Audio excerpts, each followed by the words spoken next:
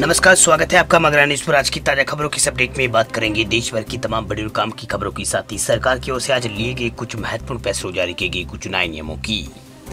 तो बुलेटिन स्वागत करते हैं। पहली खबर से तो पाँच साल तक हेल्थ कवरेज के बाद अब हर हाल में देना होगा सभी बीमारियों का क्लेम इरडा ने जारी किए हैं निर्देश।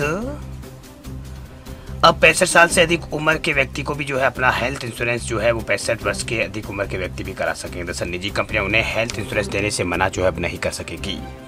वही साठ माह या फिर पाँच साल तक के हेल्थ इंश्योरेंस कवरेज जारी। रहने के बाद कंपनी किसी भी बहाने से जो है, आपके इंश्योरेंस क्लेम को खारिज जो है, वो भी नहीं कर पाएगी। पहले आठ साल तक लगातार कवरेज के बाद ये सुविधा जो है प्राप्त होती थी। वही भारतीय बीमा विनियामक विकास प्राधिकरण जो है, एडा, उसने इस संबंध में एक नए दिशा यहाँ पर जारी किए हैं, जो चालू वित्त वर्ष से लागू माने जाएँगे। अभी कई बार जो है हेल्थ इंश्योरेंस देने वाली कंपनियाँ किसी बहाने से जो है, ये कहकर इंश्योरेंस क्लेम को खारिज कर देती है। कि इस बीमारी के बारे में जो है यहाँ पर, इस बीमारी के बारे में इंश्योरेंस कवरेज लेने के दौरान नहीं बताया गया था, लेकिन पाँच साल तक कवरेज जारी रहने के बाद कंपनी ने ये कंपनी ये कहकर नहीं यहाँ पर कह सकेगी कि उन्हें बीमारी के इलाज के क्लेम का भुगतान यहाँ पर करना होगा। वह इस तरह की बात यहाँ पर नहीं कर पाएगी। दरअसल उपभोक्ताओं के हक में एडा ने एक और फैसला लिया है, जिसके मुताबिक पहले से घोषित बीमारी का कवरेज अब तीन साल के बाद मिलने लगेगा। पहले इसकी सीमा चार साल थी। मान लीजिए कि कोई उपभोक्ता मधुमेह से पहले से पीड़ित है और कवरेज लेने के चार साल बाद इस बीमारी के नाम से उसे अस्पताल में भर्ती यहाँ पर किया जाता है तो क्लेम जो है इसमें यहाँ पर मिलता है। भाई तीन साल में यहाँ पर मिलेगा। पहले चार साल में मिलता था, लेकिन अभी ये तीन साल में मिलने लगेगा। भाई हेल्थ इंश्योरेंस कंपनियों को विभिन्न उम्र के लोगों के मुताबिक हेल्थ उत्पाद लेने की इजाज़त दी गई है। अब वरिष्ठ नागरिक, महिला, छात्रों के लिए अलग अलग किस्म के हेल्थ इंश्योरेंस उत्पाद लॉन्च जो है वो किए जा सकेंगे। चलिए, बात अब करते हैं अगली बड़ी खबर की। तो पश्चिमी एशिया में अगर बड़ा तनाव तो महँगाई में होगी वृद्धि। वैश्विक बाजारों में अनिश्चितता की है स्थिति।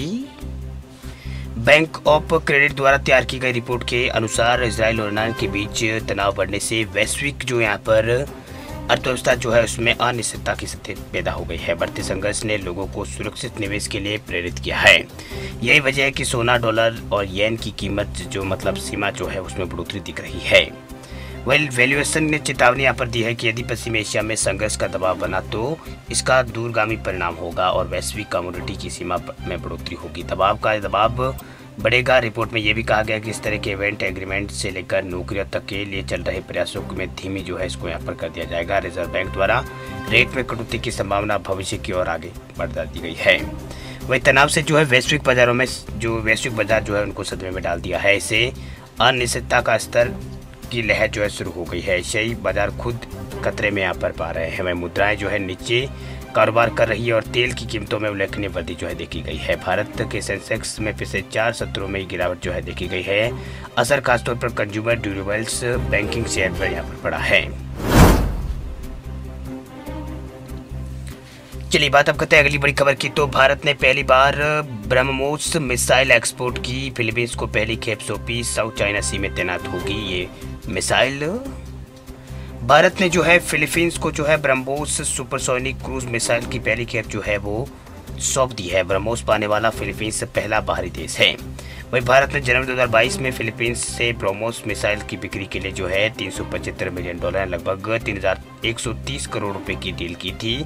भारत ने फिलीपींस को कितना यहाँ पर मिसाइल दिया अभी इसका पता यहाँ पर फ़िलहाल नहीं चला है। वह इंडियन एयरफोर्स के सी सेवनटीन ग्लोब मास्टर विमान से के ज़रिए इन मिसाइलों को जो है फिलीपींस के मेरिन कॉप्स को सौंपा यहाँ पर गया है। इन मिसाइलों की स्पीड जो है दो दशमलव आठ मैक और मारक क्षमता इसकी 290 किलोमीटर है। भाई, एक माह की ध्वनि की गति जो है तीन सौ बत्तीस मीटर प्रति सेकंड होती है। फिलीपींस को उस समय मिसाइल सिस्टम की डिलीवरी मिली है जब उनके और चीन के बीच जो है साउथ चीन जो मतलब साउथ चाइना सी जो है उसमें तनाव जो है बढ़ा हुआ है। वही फिलीपींस ब्रह्मोस के तीन मिसाइल सिस्टम को तटीय इलाकों यानी साउथ चाइना सी में तैनात करेगा ताकि चीन के खतरे से जो है वो निपटा जा सके। वही ब्रह्मोस के हर एक सिस्टम में दो मिसाइल लॉन्चर, एक रडार और एक कमांड एंड कंट्रोल सेंटर होता है। इसके ज़रिए सबमरीन शिप और एयरक्राफ्ट को दो मिसाइलें दस सेकंड के अंदर दुश्मन पर दागी जा सकती है। इसके अलावा भारत फिलीपींस को मिसाइल ऑपरेट करने की भी यहाँ पर ट्रेनिंग जो है वो देगा। बात हम कहते हैं, अगली बड़ी खबर की तो व्हाट्सएप का खेल हुआ है। खत्म गूगल ने जारी किया है नया सैटेलाइट मैसेजिंग फीचर व्हाट्सएप का खेल अब खत्म हुआ। दरअसल गूगल ने जो है एक नया सैटेलाइट मैसेजिंग फीचर जो है वो यहाँ पर जारी कर दिया। दरअसल, जैसे कि आप जानते हैं कि आज की इस ऑनलाइन चैटिंग की दुनिया में व्हाट्सअप सबसे अच्छा ऐप माना जाता है। ऐसे में गूगल की ओर से अपना एक नया सैटेलाइट मैसेजिंग ऐप भारतीय मार्केट में लॉन्च किया जा सकता है। वही समय इस एप्लीकेशन की टेस्टिंग जो है की जा रही है, ये ऐप लॉन्च होते ही व्हाट्सअप को टक्कर देने वाला है, क्योंकि आपको इस ऐप में अनोखे फीचर के साथ व्हाट्सअप से ज़्यादा सेटिंग यहाँ पर देखने को इसमें मिल सकती है। वह इस फीचर के माध्यम से जो है गूगल मैसेजिंग सीधे आपको जो है सेटेलाइट कनेक्टर के माध्यम से जो है कनेक्ट करेगा। इसका मतलब यह है कि इसमें आपको मोबाइल टावर की आवश्यकता बिल्कुल भी नहीं पड़ने वाली है। इसके साथ ही ये गूगल सेटेलाइट मैसेजिंग टूल आपके विभिन्न प्रकार की सुविधा देने वाला है।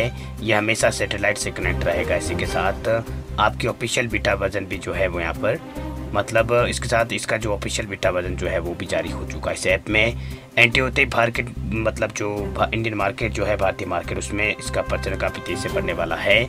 और ये सीधे जो है व्हाट्सएप पर, ये व्हाट्सएप को जो है टक्कर देगा। इसी के साथ इसमें व्हाट्सएप से अधिक फीचर मिलने वाले हैं।